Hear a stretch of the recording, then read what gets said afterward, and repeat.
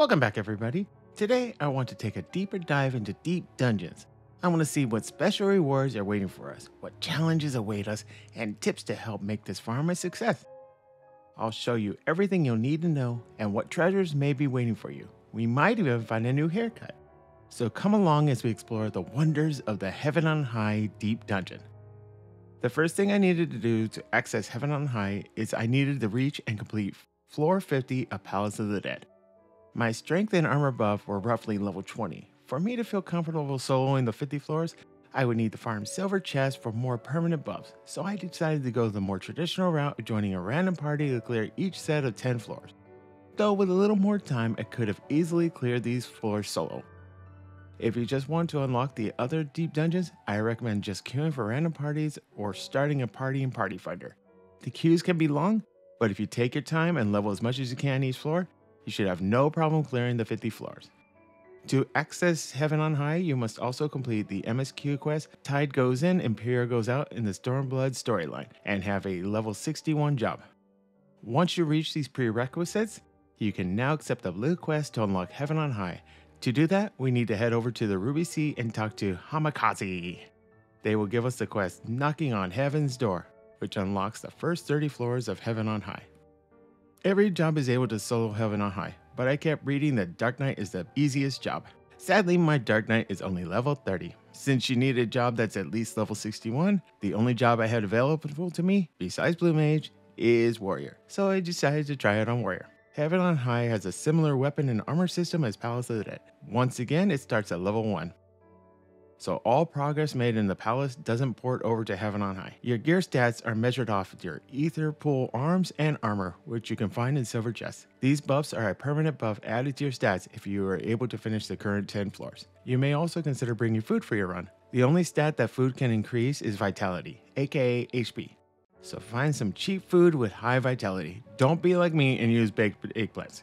It's way too expensive and there's much cheaper food with the same amount or even more vitality. You'll also want to bring some healing pots. Healing pots are normally garbage, but in a deep dungeon, they can be the difference between a failed run and a successful one. If you are a caster, consider picking up some echo drops from the major city to remove silence. Just like the Palace of the Dead farm, we will be farming up silver haloed sacks, which can be found in banded coffers. Banded coffers are rare treasure chests that are normally hidden, but can be found with a Pomander of Intuition. Once you find a Pomander or Intuition, you want to pop one and ideally always have the buff up. The buff will persist between floors until you find a banded coffer. Don't use a new Intuition until you have collected the banded coffer. I tend to get 2 to 3 sacks per run. Ways I increase my odds of finding Pomanders of Intuition? I pop a Pomander of Affluence whenever I can to increase the number of treasure chests available on the following floor I like to start a floor with a Pomander of Fortune. This will give a much higher chance that monsters will drop a chest. Some of the new Pomanders added to Heaven on High that can be useful for solo runs are Pomander of Raising, which immediately raises a dead party member once KO'd. This will save a solo run, so try to keep this buff up whenever you can. Pomander of Petrification, which turns all mobs into stone for 30 seconds, causing them to be one-shotted.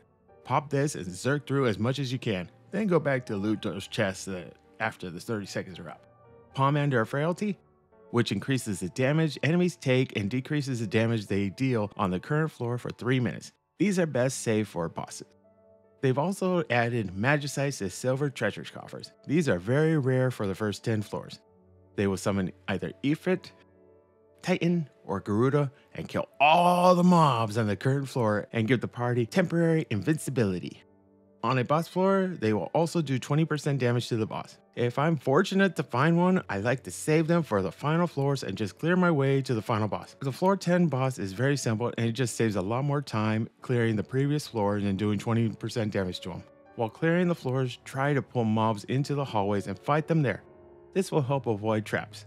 Also, traps tend to spawn towards the center of the room, so try to hug the walls when traversing through the floors. Accursed hoard markers tend to be placed right next to traps, so it's advisable to clear the room before grabbing the hidden chest. For floors 1 through 10, the primary mob to look out for is the Heavenly Shark. They roam from room to room. They have a nasty attack called Jaws. It's a castable attack that is a powerful tank buster. This can end your run before it even begins. Always kill or stun as fast as possible. The level 10 boss is called Mojabun. Moshaboon is a fairly simple boss. The main mechanic to watch out for is they will cast Overtow, knocking everyone against the wall, and follow up with Hydro Ball, that is a massive AoE hitting half the room. You have just enough time to reach safety before the AoE goes off. Anti-knockback appeared to not work for me.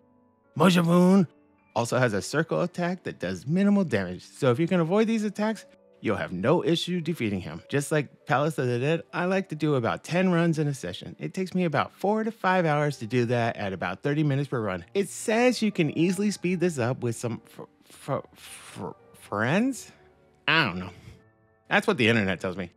If you find out what that means, hopefully you can take advantage of it. Now it's time to collect our loot. Oh yeah. Some of the loot from Palace of the Dead is transferred over, including the Thavnarian and Falconer Glamses. The female Thavnarian set goes for over 100,000 per piece. The new goodies we're focusing on are a vast amount of Chocobo Bardings that are ranging between 20 to 100,000 gil each. But the main item we're looking for is the ever coveted Gyr Abanian Plait hairstyle, which at the time of recording this is going for 900,000 gil, but I've recently seen it as high as 1.5 million gil. This is a very sought after hairstyle. It's the hairstyle my main uses, and as of doing this run, I now have it for this character as well. Not to mention that every run will award a small amount of each of the current tomestones, and that this is a nice option for leveling alts. I tend to enjoy this type of farm because it takes two of my favorite activities and combines them puzzle solving and gamba. Nothing beats the power of not knowing what treasures your silver haloed sacks will hold.